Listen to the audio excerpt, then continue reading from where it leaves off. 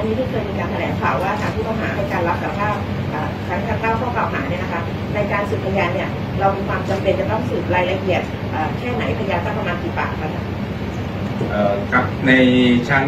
ศาลเนี่ยนะครับเเรียนให้นักข่าวทราบนะครับว่า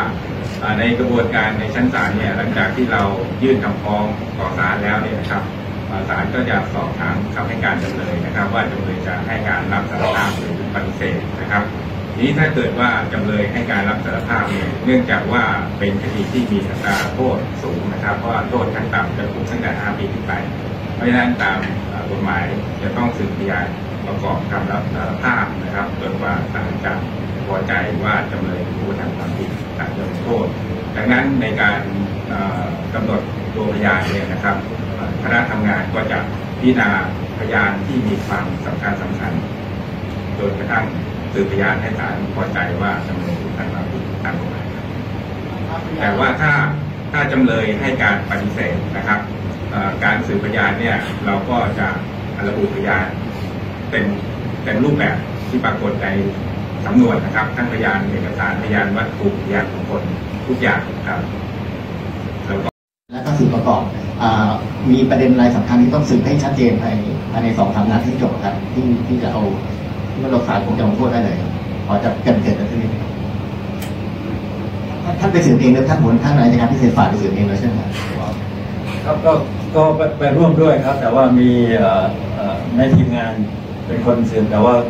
ก็จะไปร่วมจะไปดูดูอยู่ด้วยครับเวลาเวลาสืบคือ คดีนี้มันก็จริงๆแล้วมันก็มีประจักษ์พยานอย่างที่เห็นนะครับ มันก็มีปิดหน้าปิดตา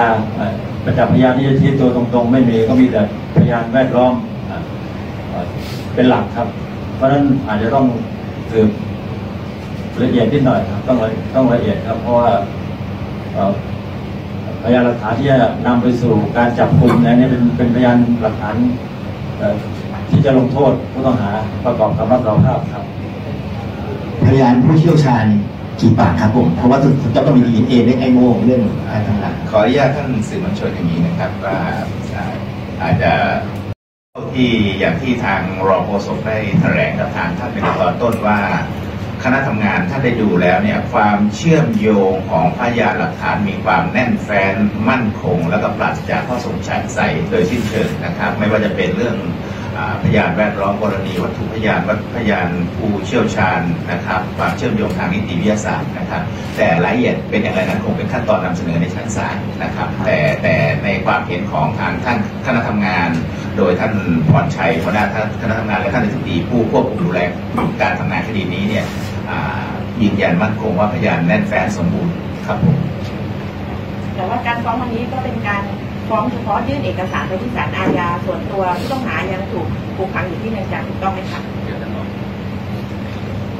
เออก่อนอื่นต้องผมนะครับผมผมหัวหน้าคณะทำงานนะขอให้ความมั่นใจนะครับว่าคดีนี้เนี่ย เราได้มีการพิจารณาคดีอย่างละเอียดรอบคอบแล้วก็รวดเร็วนะครับพยานหลักฐานทั้งหมดที่เราตรวจดูทั้งหมดเนี่ยในการตรวจสำนวนสับสำนวนแม้กระทั่งร่างฟ้องเนี่ย เรามองแล้วว่าพยานหลักฐานที่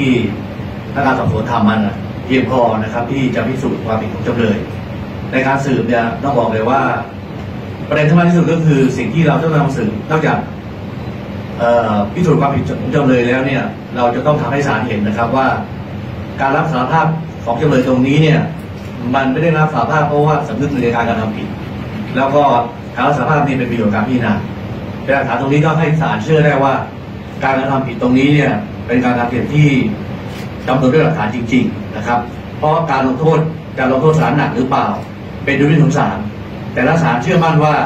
สิ่งที่เรานำเสืบทั้งหมดแล้วพิสูจน์ให้ศาลเห็นว่าการกระทำของจำเลยเนี่ยทำไปโดยที่โหดเหี้ยมทารุณแล้วก็ยิงผู้บริสุทธิ์แบบโหดเหี้ยมจริง ๆ แล้วเนี่ยสิ่งเหล่านี้เนี่ยจะทำให้ศาลเห็นว่าโทษสถานหนักทั้งหมดที่จำเลยได้รับเนี่ยถึงแม้จำเลยรับสารภาพถ้าจำนวนเรื่องหลักฐานจริง ๆ ไม่เป็นประโยชน์แก่การพิจารณา ศาลอาจจะไม่ลดโทษให้ก็ได้นะครับ ก็ให้กราวสื่อมีสื่อมวลชนให้ทราบนะครับ